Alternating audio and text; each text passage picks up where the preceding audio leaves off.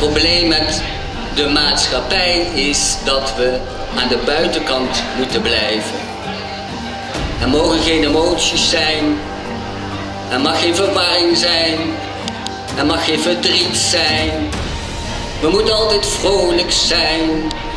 We moeten mooi uiterlijk hebben en alles aan de buitenkant.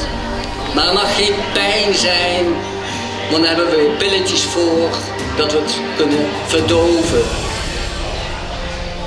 Maar het is juist zo belangrijk en dat was uiteindelijk mijn weg ook.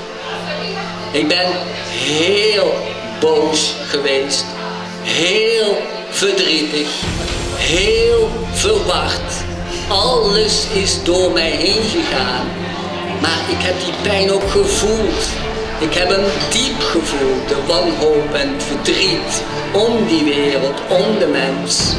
Maar juist omdat ik het toen durfde te voelen en er inzicht in mocht krijgen, is al die pijn, al die verwarring, al dat verdriet verdwenen.